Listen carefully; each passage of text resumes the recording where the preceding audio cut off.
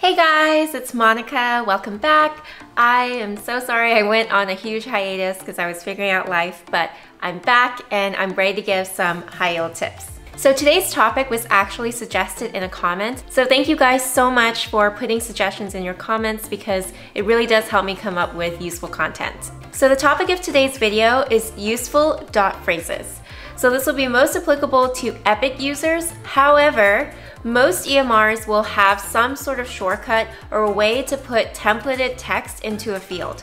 So I still think that this video will be useful because I will be talking about generally what shortcuts are useful to have. So what is a dot phrase? In Epic, you type in a period and then the name of your dot phrase, press enter, and then boom, a bunch of templated text comes up and this saves you so much time. Guys, I'm telling you, learning tools and shortcuts within an EMR is very crucial and it really is a step towards achieving work-life balance because the more efficient you are in your work, the more free time you're going to have. So I separated the dot phrases into three separate categories ones that are useful in both the inpatient and outpatient settings, ones that are useful in inpatient settings, and ones that are mostly useful in outpatient settings.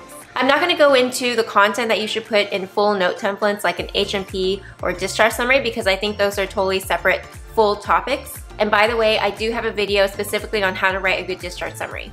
Today I'm going to be focusing on short bits of text that would be useful to save as dot phrases. So first, let's talk about some general principles. When should you make a dot phrase for yourself? So situation number one, things that you're typing out almost every day. If you are typing out the same sentence for every patient every day, you are wasting time. You're wasting precious seconds that do add up to minutes. Principle number two, things that you are constantly looking up. If you are UpToDating the same question, the same simple question every day, then maybe that needs to be a dot phrase. Principle number three, checklists. So if you have a checklist of things that you need to do that's standard for each patient, then that might be a useful dot phrase so that you don't forget anything. An example of this would be like a discharge checklist. Sometimes people can include this in note templates and I think you should include it in a note template, but there are situations in which this may be useful to have as a separate dot phrase. So dot phrases that are useful in both the inpatient and outpatient settings.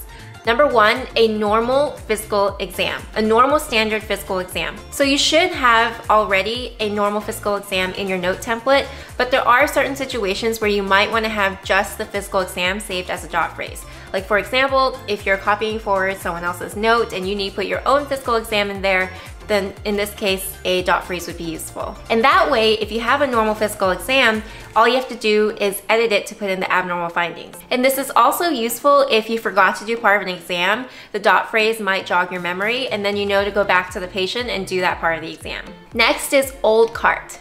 Yes, you heard me right. You should definitely know this off the top of your head, but we're talking in situations where you need to be efficient and also when you're so, so in a rush that you don't have time to think and it's not second nature to you yet. So sometimes even I will use this in an outpatient visit where I'm trying to like type really quickly and the patient's talking to me. I want to remember every question I need to ask in order to make a good differential diagnosis. So I actually have OLDCARTS saved as a bullet point list. Next, lists of resources. So if a patient's always asking you, what are some mental health resources for me? Where are the lab locations? Where are the urgent cares? You can save these as a list as a dot phrase so that you're not constantly Googling it for a patient.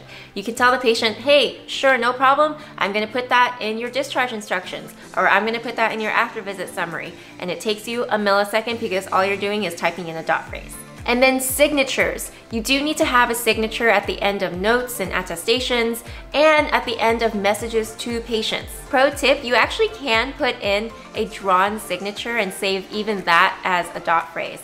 So that's really useful, for example, when you're writing a letter for a patient. All right, dot phrases that are useful specifically in the inpatient setting. So first, a review of systems. So you know how when you write your subjective on a progress note, you need to include a review of systems like patient denies chest pain, shortness of breath, nausea, vomiting, diarrhea, fever, chills, etc., etc. So actually this is required for billing purposes, but also you should be checking in on some of these symptoms for your patients. So you do need to include this in your subjective. That's why it's useful to have a dot phrase so you're not typing out the same thing every day for every patient. Just remember to edit it, of course, when the patient actually does have something positive in the review systems. Next is an inpatient checklist. This should be part of a note template as well, but you might want to have a separate dot phrase in case you need to put it in afterwards. For ICU rotations, one of the common mnemonics is fast hugs BID, which I'll put up here. And you can save that as a dot phrase. So again, you're not having to remember all of these things because there's a good chance you're gonna forget something. Now, warning here, if you have a checklist that is a dot phrase, that doesn't mean that your eyes should just skim over it every day and not really read it. A checklist exists for a reason. So you should be going through the checklist every day for every patient. Another checklist that's useful is a discharge checklist. Discharge planning is so important in the inpatient setting. Next, plans for commonly seen diagnoses. Here's an example of a dot phrase that might be useful on a cardiology rotation. The cardiologists are concerned about all aspects of the heart. So you need to remember to consider all of them. We need to consider the coronaries, so coronary artery disease, for example. We need to consider the pump of the heart. Is there heart failure? We need to consider the rhythm of the heart. Does the patient have a history of AFib?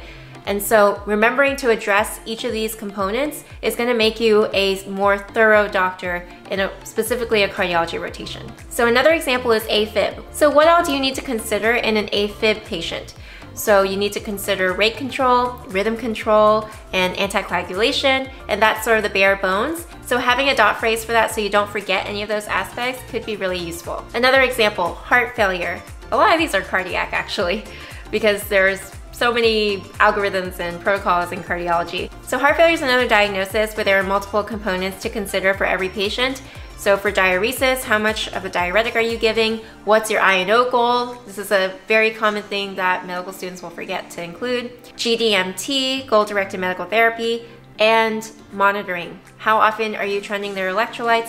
What are your electrolyte goals? I have seen people make dot phrases for other diagnoses, not just cardiac. So for example, hyponatremia or AKI, diagnoses that you see all the time and you're always having to think of the same workup it might be useful to have a dot phrase for those. Next is protocols like the DIC transfusion protocol. I know people are always looking this up because it's not something we use terribly often. And then discharge instructions. You definitely should have a dot phrase for this because it's so important to remember to put all the important points in the discharge instructions that are gonna go in the after visit summary that leave with the patient when they're discharged from the hospital. So this is what my dot phrase looks like. I include what the patient was admitted for and I don't make it complicated, just a brief summary. Then I'm putting what are the things that happened during your hospitalization, what are the medication changes we made, and is there anything the patient needs to do besides taking medications after they leave the hospital? It's also important to include a number that patients can call if something happens once they leave the hospital. Next, outpatient dot phrases. Oh my gosh, dot phrases are even more crucial in the outpatient setting. I am telling you, there are way too many things to remember and way too many things you're taking care of, like for, in the in basket, for example, so many things that you're typing out over and over again that if you don't use these dot phrases, you're gonna be very, very slow. So let's get to it. First, scores. So I'm talking like PHQ-9, GAD-7, Stop Bang, CHA2DS2-VASc, I mean, the list goes on. It's nice to be able to have a dot phrase for that so you insert it in your note automatically and you can go through it right there with your patient. It takes a little longer to Google, use MDCalc, and then do the score, but then if you use MDCalc, you won't have the responses to specific questions in your note. Next is checklists for chronic conditions. This is so, so useful because there are many common diagnoses out there and these diagnoses have so many things that need to be monitored over the long term.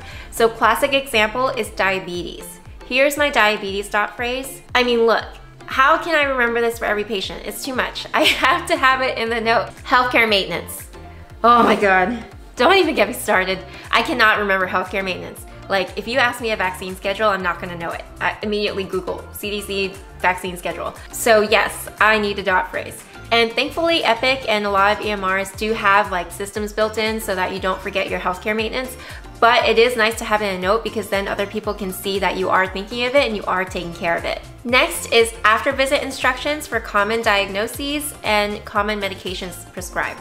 So for example, if you have a medication that you're prescribing very often and it needs to be taken a certain way, yes, you need to say that during the visit, but please put it in the after visit instructions as well because patients are going to forget. So one good example is thyroid medication. You're newly prescribing thyroid medication, so you need to put in the after visit instructions to take it on an empty stomach for common diagnoses. So for GERD, I have a set of instructions here. Or for hypertension, if I'm adjusting someone's medications, I might put the instructions here. For the FODMAP diet, I have a table that pops up for lists of foods that you can eat, lists of foods that you should avoid. Pre-op instructions. I could go on and on. There are a million things that you can make into a dot phrase, millions of things that are common that you should make into a dot phrase in order to stay efficient. Next is responses to frequently asked questions for patient messages. They're often asking the same questions over and over and over again. So classically, during this time period, questions about COVID vaccines, we have a dot phrase that's a standard response that answers the questions that are most commonly asked. That way, I don't have to type out the same response to 30 different patients who are asking me the same thing. And that wraps up my video. I could probably think of more useful dot phrases. If I do, I might make a part two. If you have suggestions for additional dot phrases, please feel free to put them in the comments so everyone else can learn and I can learn as well. I do take suggestions very seriously, so if there's a topic that's been burning and you think would be useful for other medical students and residents, also leave that in the comments. Please like and subscribe to support my channel. Thank you guys so much for watching. I'll see you next time. Bye.